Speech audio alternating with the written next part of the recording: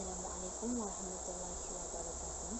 My name is Nur Nazura binti Azman and today I will present about history of theorems and contributors to the discovery. Let's begin with the history of divergence theorem. Based on a study by Didion Million and Friends 2015, divergence theorem was discovered in 1761 by a mathematician called Joseph Louis Lagrange. He discovered divergence theorem but could not provide any proof for this theorem. Later, a mathematician called Carl Friedrich Gauss rediscovered it in 1813. He also could not provide any proof for divergence theorem. Meanwhile, George Green also rediscovered divergence theorem without knowing the work of Lagrange and Gauss. But his work nearly being discarded due to his unclearances. Later, in 1831, a proper credit was given to Russian Mikhail Vasilyevich Ostrogradsky for being the first ever mathematician who proved the divergence theorem.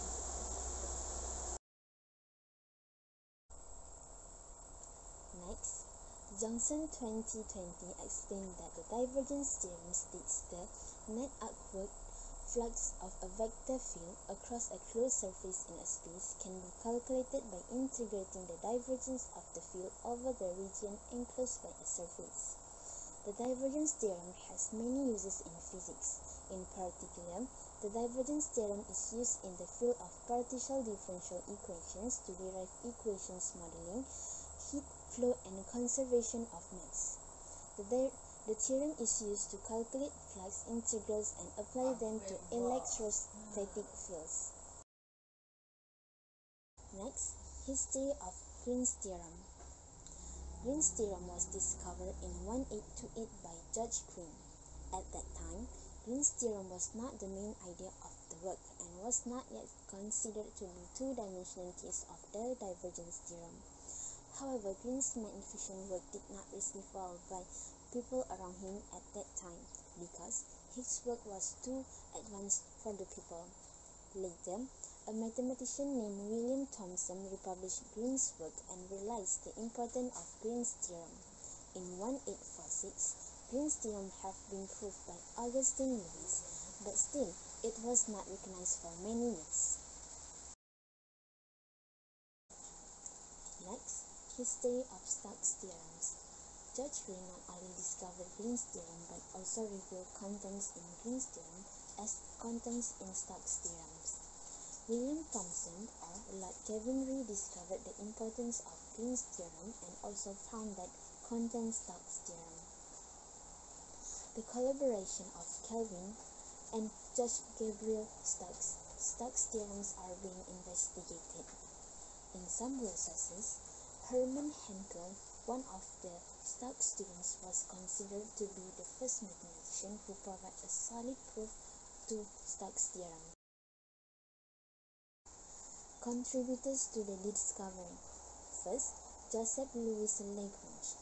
The word Lagrange started in the 18th century, was a professor of mathematics at the Royal Artillery School a leading founder of a new society called the Royal Academy of Sciences of Turin, he discovered the divergence theorem. Second, Russian Mikhail Vasilyevich Ostrogradsky. He studied physics and mathematics at the University of Kharkov, never received his degree due to religious and internal problems, studied under several great mathematicians such as Pierre Simon Laplace, Joseph Fourier, and Augustin Louis Cauchy. He rediscovered the divergence theorem and provided a proof. Third, George Green. He only received four semesters of formal schooling at Robert Goodacre Schools in Nottingham.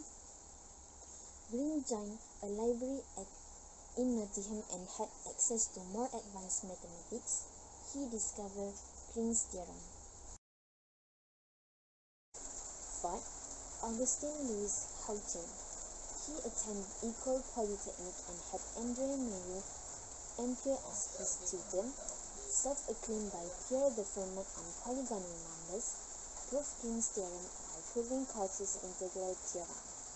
Fifth, Hermann Hankel enrolled at the Nikolai Gymnasium and University of Leipzig, studied mathematics under August Marcus and physics under his fathers, studied at the University of Göttingen where he studied under George Friedrich Bernhard Riemann, received his doctorate in 1862 and began teaching at Leipzig in 1863, teach at Tübingen in 1869, and lastly proved Stokes' theorems. Assalamualaikum warahmatullahi wabarakatuh. My name is Nurhain binti Muhammad Kushari Faisal and I will present about similarities and relationship between the Green's theorem and Stokes' theorem.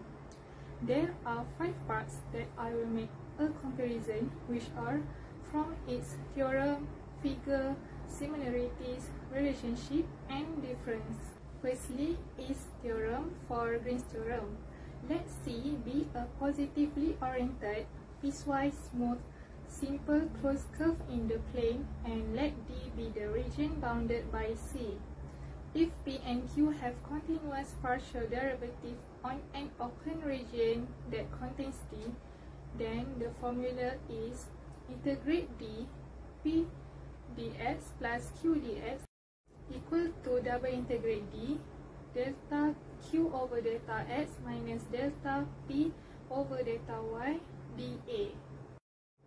Next, for the Stokes theorem, let S be an oriented piecewise smooth surface that is bounded by a simple, closed, piecewise smooth boundary curve C with positive orientation.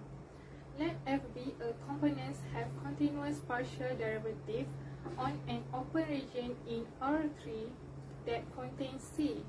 Then the formula is integrate C f dr equal to double integrate S curl f ds. Secondly is figure. From the figure 1, we assume that D consists of all points inside C as well as all points on C. In the figure 2, in stating Green's theorem, we use the convention that the positive orientation of a simple closed curve C refers to a single counterclockwise traversal of C. Thus, if C is given by the vector function RT, t is greater than and equal to a and less than and equal to b. Then the region D is always on the left as the point RT traverses C. Next is Stokes theorem. In the figure 1 shows an oriented surface with unit normal vector n. The orientation of S induces the positive orientation of the boundary curve C shown in the figure. This means that if you walk in the positive direction around C with your head pointing in the direction of N, then the surface will always be on your left. Next is the point similarities. Green's theorem and Stokes theorem has the similar expression on the left hand side. In both theorem, we integrate a derivative over a region and this integral is equal to an expression involving the values of the original function only on the boundary of the region. Next is for relationship. Green's theorem is the two-dimensional case of the divergence theorem. Green's theorem relates a double integral over a plane region D to a line integral around its plane boundary curve for the Stokes theorem is a general case of both the divergence theorem and Green's theorem. In 2016, Stewart mentioned Stokes' theorem relates a surface integral over a surface S to a line integral around the boundary curve of S, which is, is a space curve. At first, Green who is the first person that is proposed the theorem then Thomson continued the Green's works because he realized the importance of the theorem. Thomson and Stokes made a collaboration and worked together to discover the work of Green. Stokes was applied the theorem as a problem on one of its exams and thus the theorem became known as Stokes' theorem. And lastly is the point difference between the Green's theorem and Stokes' theorem. For the Green's theorem, C is used for a curve in the plane, while for Stokes' theorem, C is used for a curve in space. That's all from me. Thank you. Assalamualaikum. My name is Nilam Srifahana bint Abdul Aziz and today we will discuss the roles that Green, Thomson and Stokes played in discovering this theorem and making them widely known. In 1828, George Green secretly published an essay on the application of mathematical analysis to the theories of electricity and magnetism but only 100 copies were printed with the majority going to his friend. This pamphlet presented a theorem that is equal to Green's theorem today, but it was not well known at the time.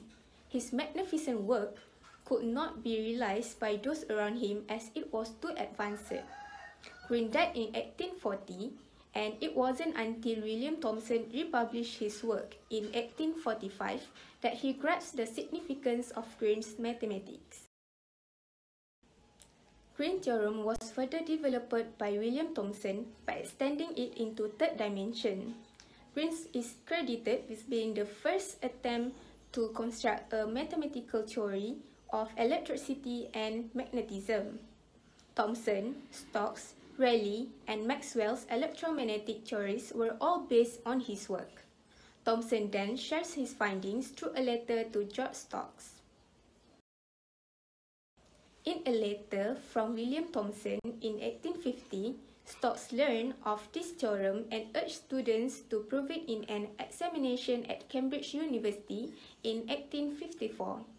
We have no idea if any of those pupils were successful.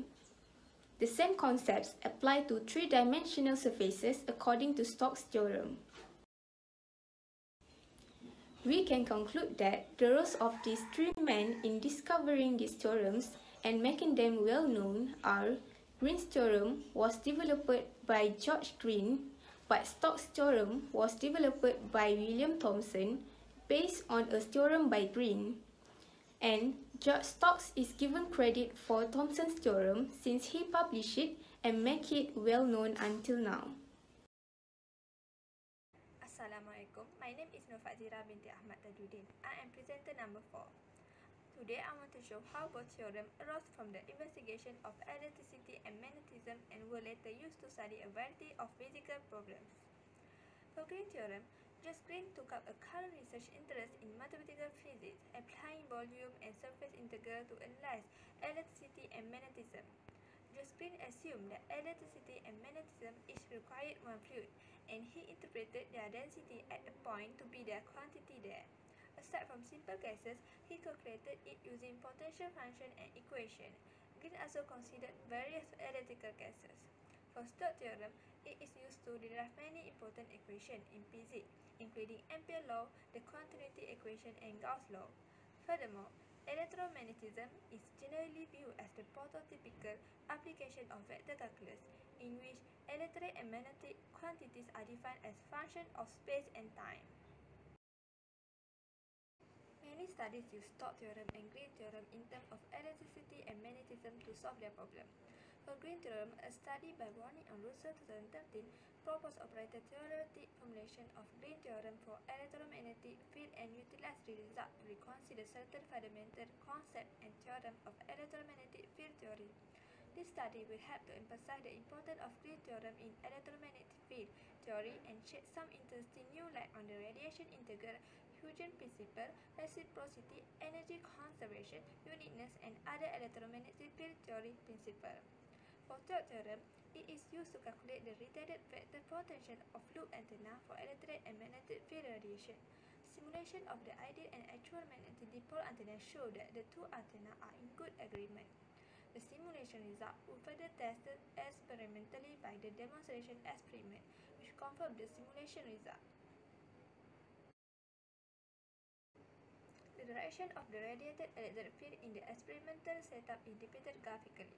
Therefore, the theoretical simplification and experimental design will provide a better understanding of the radiation of an electrically small loop antenna to other people. Furthermore, Stokes theorem is important for constructing magnetic field to contain the plasma, ionic gas. It can be used to answer the question of whether quasi-symmetric field, those with integrable guiding center motion, can be created with little or no toroidal current. Moreover, concept of Stokes theorem is widely used for the physical interpretation of the circulation concept among the magnetic and electric field. This theorem also is used to analyze the formation of eddy current in electromagnetic. That's all, thank you.